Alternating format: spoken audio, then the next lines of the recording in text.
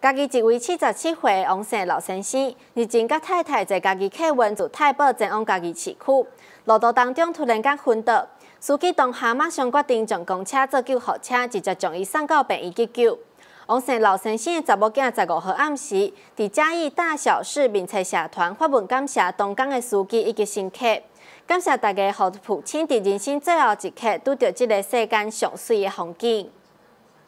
历经王生时代，甲太太坐该客运要前往该市区，经过北港路时，王生时代形容身体无爽快，离昏倒。而当时客运司机戴幸会，并过停车叫救护车空镜耽误时间，直接将公车开到卫生福利部街病院。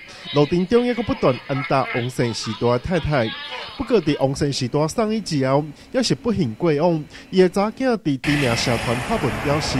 除了感谢，也是感谢太保开用家己的客运司机以及动车的乘客。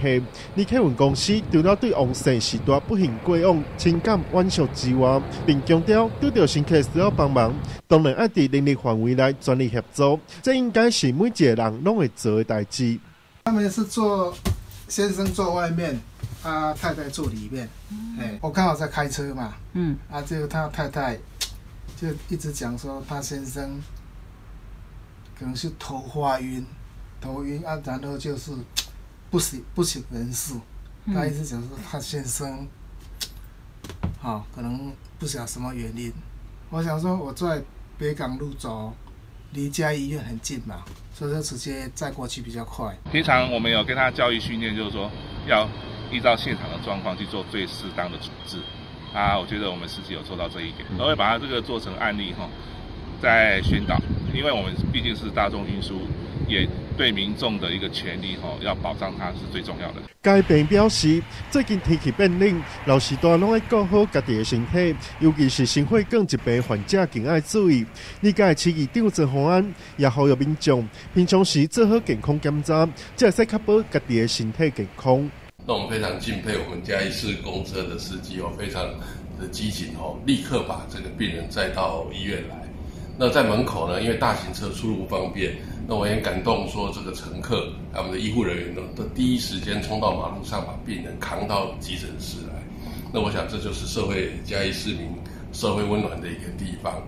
那最近呢，天气又开始冷起来了，那老人家比较担心的就是心血管的问题。哦，比如说是中风或是心肌梗塞这些问题，市民的健康哈，大家的身体就是自己要照顾啊，要懂得每年来参加这个健检哈。嗯，还有且我们嘉义布利医院哈，我们嘉义医院是一个六星级的健检的单位哈，有很好的设备，那也希望市民哈啊，大家都要珍惜自己的身体，要记住每年都要做健检。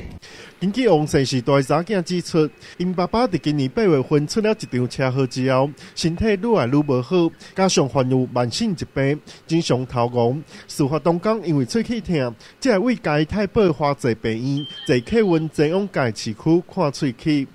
新闻调民家市采访报道。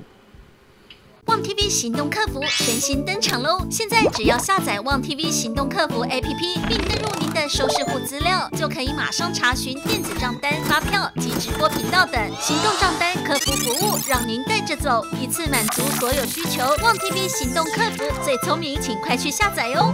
旺 TV 数位电视。